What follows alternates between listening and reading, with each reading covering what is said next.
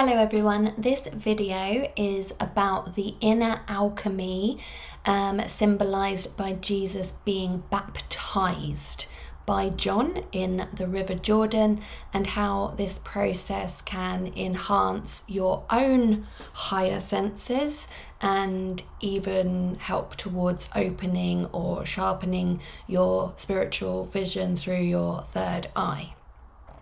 For those of you have, who have been watching my channel for a while, you'll know that Jesus' 33 years of life symbolize the 33 vertebrae in the human spine. Indeed, his birth, his life, his teachings, his baptism, which is what this video is going to specifically unpack, um, his crucifixion and resurrection all take place inside the body.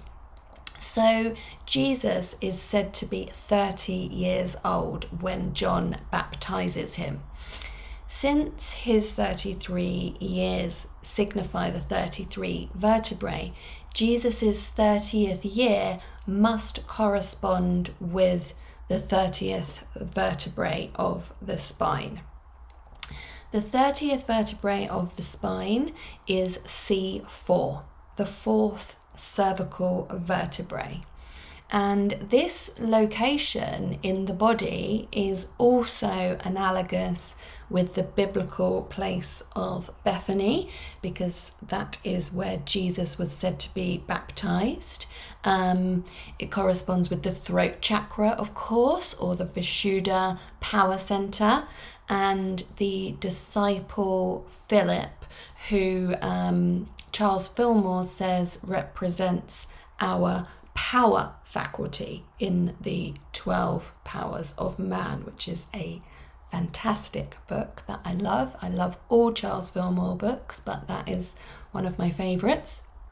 Um, but perhaps the most important thing to take away is that the marvelous um, endocrine gland known as the thyroid is level with vertebrae C4. So, what is the inner baptism performed by the thyroid gland exactly? Well, in the Bible, it is John that baptizes Jesus in the River Jordan, which is the central canal of the spinal cord. And broadly speaking, John is a metaphor for the soul. Both ancient saints and sages, plus modern scientists, agree that the soul can be equated with the fluids of the body, specifically CSF, brain and nerve fluid, which is a part of the lymphatic system. Um, and as Randolph Stone said, the soul swims in CSF. But Dr. Carey goes one step further and tells us in God Man, the Word made flesh, that the word John is actually a chemical formula. Now, he doesn't say what the word John is a formula for, um, so let's unpack this. The thyroid gland, positioned by the 30th spinal vertebrae, C4, uses iodine, which is an electron donor or life force donor, to produce thyroxine. Thyroxine is a dynamic and powerful hormone which actually disinfects all the channels of the nervous system while we sleep. Without this biological iodine, we would not be able to live. And for any Big Bang Theory fans, Sheldon Cooper also referred to this cleansing phenomenon when he said, I need to go to sleep so that my CSF can remove the metabolic byproducts of my thoughts. In other words, Thyroxine literally baptizes or purifies the body on a very deep cellular level. But how can we be sure that John and thyroxine do in fact correspond? Well, coming back to that chemical formula, we see that the letters which spell John, which was previously ion in the Greek Bible because there were no J's back then, are found in the chemical formula of thyroxine. The word John is in that chemical formula of that amazing, potent, disinfecting, baptismal um, compound being secreted by the thyroid. So, that is a great example of alchemy in the Bible.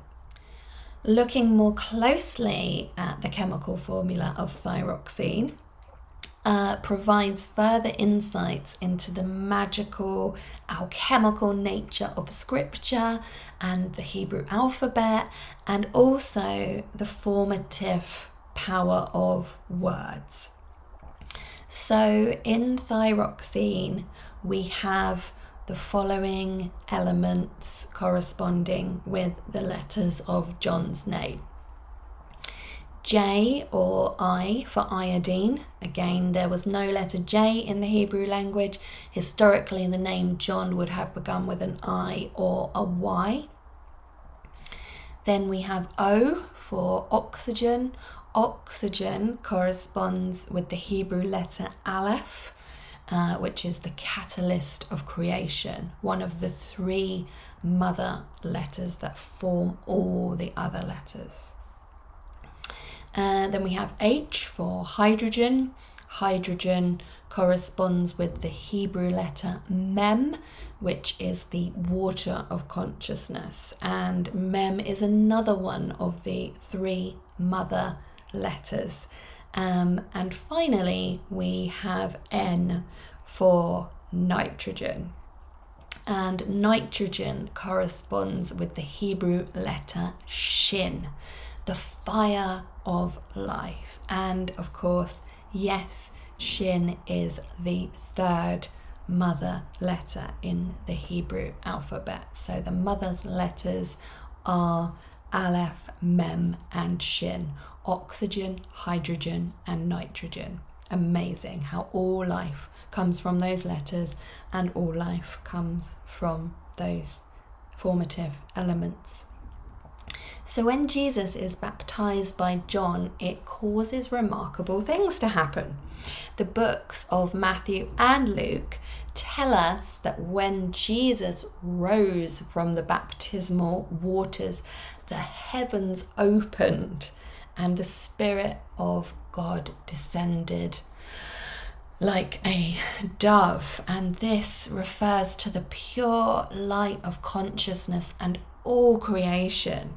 God growing and expanding within as the spirit and soul of the body are cleansed. So, as we are cleansed by degree, our inner light gets brighter and brighter. And the book of Corinthians also talks about cleanliness being next to godliness. Therefore, since we have these promises, dear friends, let us purify ourselves from everything that contaminates body and spirit, perfecting holiness out of reverence for God. And that is 2 Corinthians 7 1.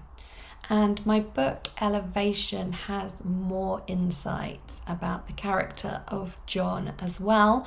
But for this video, I just really wanted to highlight the alchemical relation to the iodine rich hormone known as thyroxine that clears the body on such a deep cellular level.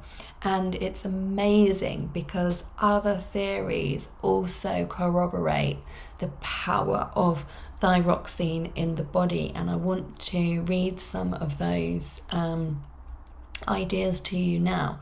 For example, it is believed that Iodine has the ability to purify and cleanse the energetic and spiritual aspects of the body.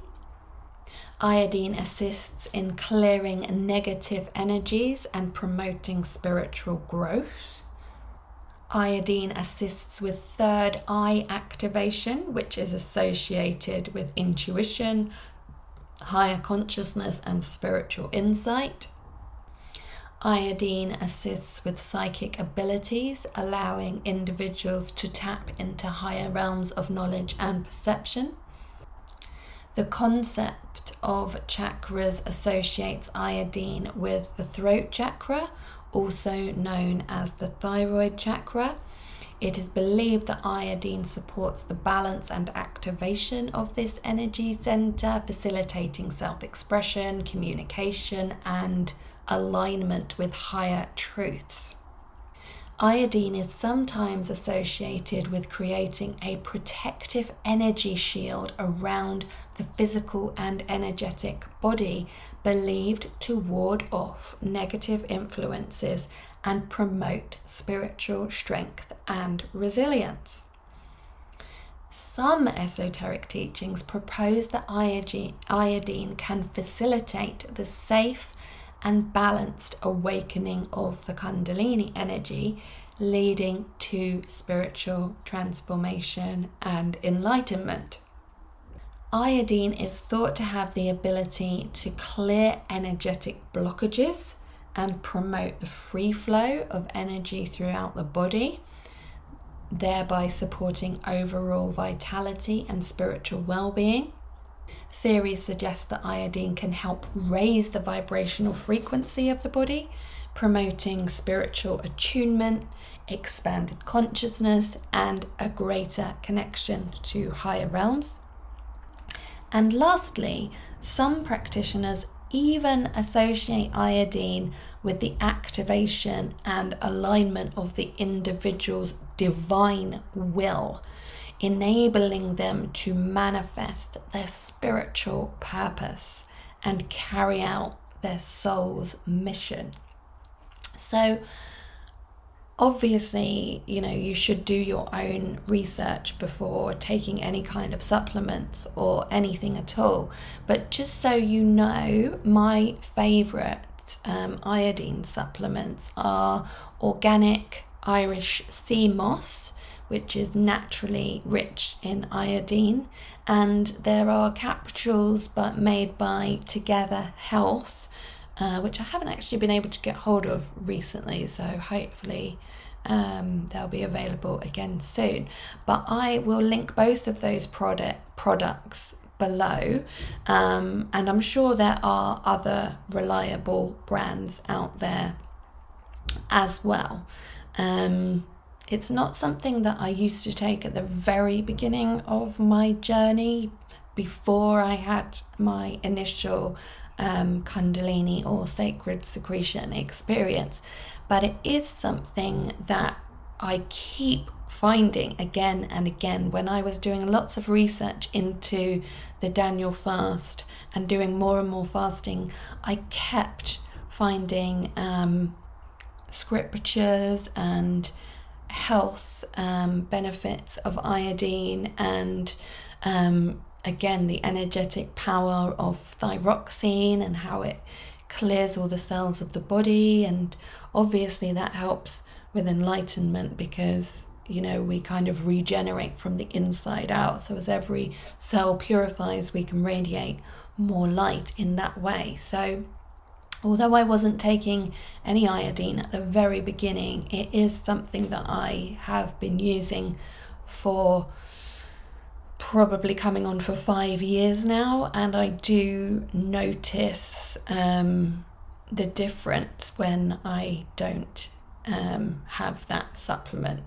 But when I'm using lots of greens and I'm using chlorella and super greens in my smoothies, um, or sea moss in my smoothies. Um, I might skip the supplement because you don't really need to double up. But again, do your own research, find what works best for you. Um, if you don't take any super greens or any iodine supplements, then you know maybe it's something that you could look at for helping to really um, assist with clearance and um, keep your energy levels up as well because obviously you know it's very well known that um, super greens are awesome for you in many many ways. So thank you so much for watching. If you would like to know more about the journey of the jesus seed through the body, please watch this earlier video and I will include links to my books and my course, which is available on Teachable below as well. May divine light manifest itself in you all, always, and in all ways. Namaste.